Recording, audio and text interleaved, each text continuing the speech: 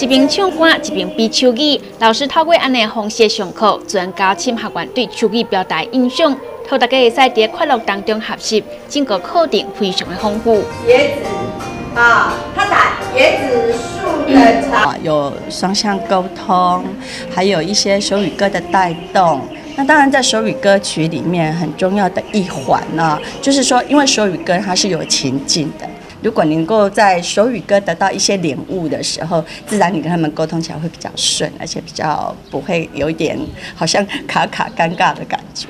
手语翻译经关是听力障碍者朋友甲社会接受真重要的平台。不过会晓手语的人实在是真少，因此南投县农业福利协进会开设手语志工培训的课程。在教手语的同时，希望配合动作甲表情，才会使互表达较活泼。嘛因为课程真趣味，好学关系学甲真认真。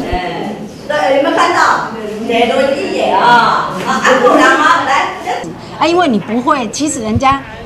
聋哑朋友来的时候，我们就跑走了，因为我们不会啊，哎啊，所以学起来备而不用是蛮好的。以后如果真的有的时候，我们还可以帮忙，哎啊，我们我们有学过的自工哈。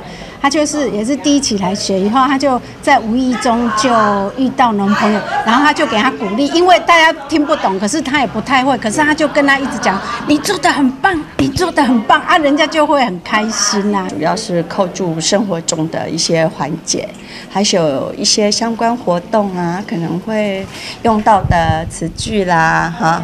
学官表示，学手语比来比去，也在预防老人痴呆症，同时为新长者朋友服务，上正欢喜的代志。经过课程大约七个月，希望会使有真侪收获。记者刘云信采报道。